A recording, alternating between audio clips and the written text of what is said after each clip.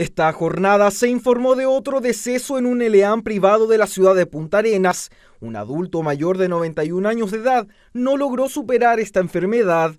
En Magallanes, la positividad diaria bajó de un 22,38%. A la fecha, ya 42.566 personas se han recuperado. Los fallecidos suman un total de 552. Vigila notifica para Magallanes 258 casos nuevos. 129 en Punta Arenas, 18 en Natales, 8 en Porvenir, 1 en Cabo de Hornos, 1 de otra región y 101 reportados por laboratorio. Por sistema de ajuste se ha restado un caso, tenemos 44.291 casos desde el inicio de la pandemia. El 52% de los casos positivos encontrados hoy corresponden a búsqueda activa y los casos de hoy corresponden además a 898 muestras analizadas.